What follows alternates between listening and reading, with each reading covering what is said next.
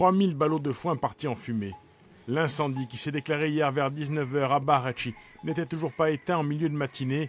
L'hypothèse d'un acte criminel est privilégiée. Les éleveurs visés n'ont pas souhaité s'exprimer face à notre caméra. Toutefois, la fille et sœur des victimes s'interroge. Elle est membre du collectif opposé au projet privé de centre d'enfouissement de Viganello. Nous prenons acte de ce qui s'est passé hier soir. Euh, ce que je peux vous dire, c'est que mes parents sont des gens sans histoire, des travailleurs, très très bien perçus dans toute la région. Euh, la concomitance des faits est troublante, en effet. Un rassemblement de soutien est organisé samedi à 15h devant le centre d'enfouissement. Toutefois, aucun élément matériel ne permet de relier les actions du collectif à cet incendie. D'autant que les propriétaires du hangar, eux, ne se sont jamais impliqués au sein de Valinkulindu.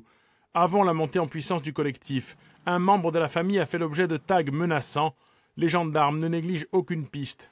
C'est la sixième enquête ouverte en 2019 à la suite d'incendies sur des exploitations agricoles en Corse. Pour l'exploitant, l'urgence désormais est de trouver du foin bio pour alimenter son troupeau.